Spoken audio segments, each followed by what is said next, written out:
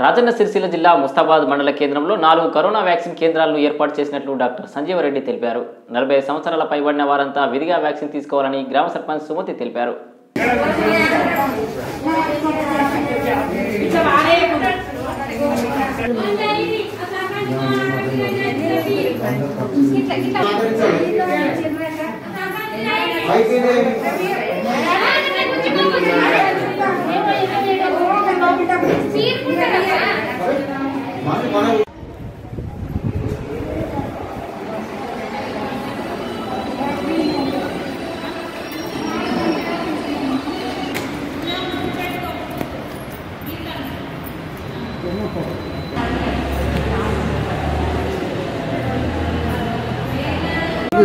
ఏం కుయ్య మరి మనకి.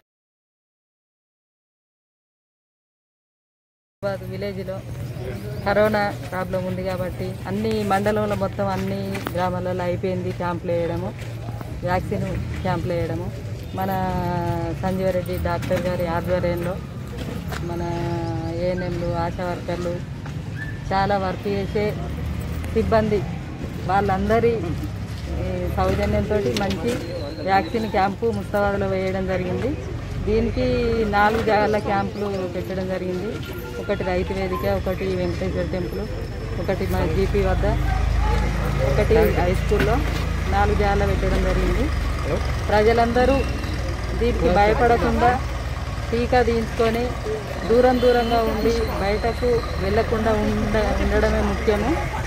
బయటకు వెళ్ళాలనే ముఖ్యమైన పని ఉంటే మాస్క్ పెట్టుకోకుండా మాత్రం సందర్భంగా తెలుసుకుంటున్నాము.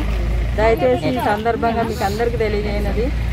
ఒకరినొకరం అందరం కాపాడుకోవాలి మహమ్మారి నుంచి అంటే మనము మాస్క్ తప్పకుండా ధరించాలని సందర్భంగా అందరికీ తెలుసుకుంటూ కోరుకుంటూ మన ప్రెస్ మిత్రులు కూడా చాలా మంచిగా వ్యాక్సిన్ గురించి అది భయపడకుండా ఉండాలని ఒక న్యూస్ మీరు కవర్ చేయాలని సందర్భంగా తెలుసుకుంటున్నాను మేజర్ గ్రామ పంచాయతీ ముఖ్య గ్రామంలో ఈరోజు వ్యాక్సినేషన్ కార్యక్రమం చేపట్టడం జరిగింది.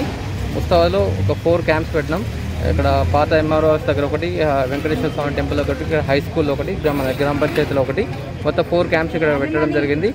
మన దాదాపు మనకి ఇక పదకొండు వందల యాభై మంది బెనిఫిషియరీస్ ఎబో ఫార్టీ ఫైవ్ వాళ్ళు. వాళ్ళందరికీ చాలా వరకు మన హాస్పిటల్కి వచ్చి తీసుకున్నారు. ఇంకా మిగిలిపోయిన వాళ్ళు చాలామంది ఉన్నారు కాబట్టి వాళ్ళ కోసం ఇక్కడ ప్రత్యేకించి గ్రామ పంచాయతీలో క్యాంప్ పెట్టడం జరిగింది.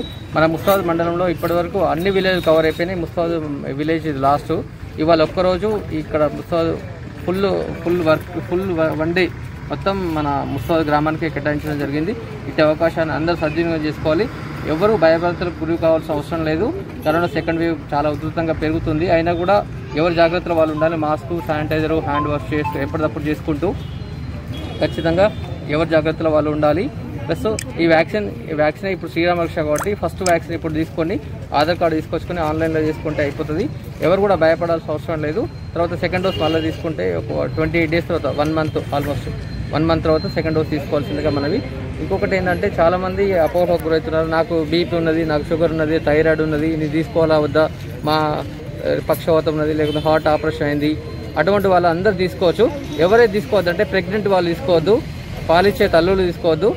ప్లస్ ఎవరికైనా ఇంజెక్షన్ కానీ టాబ్లెట్ కానీ వేసుకుంటే ఏమైనా అలర్జీ అయిన వాళ్ళు డస్ట్ అలర్జీ కానీ వేరే అలర్జీ అయిన వాళ్ళు అటువంటి వాళ్ళు మాత్రం వ్యాక్సిన్కి దూరంగా ఉండాల్సిందిగా మనవి. ఎబో ఏ- ఇప్పుడు మే ఫస్ట్ నుంచి ఎబో ఎయిటీన్ ఇయర్స్ వాళ్ళు కూడా మేము ప్లాన్ చేస్తున్నాం. ఇన్స్ట్రక్షన్స్ ఎట్లా వస్తే మేము అట్లా ఫాలో అవుతాం. ఇప్పుడైతే ఎబో ఫార్టీ ఫైవ్ ఇయర్స్ వాళ్ళందరూ ఇచ్చే అవకాశాన్ని కంపల్సరీగా సద్వినియోగం చేసుకోవాల్సిందిగా మనవి.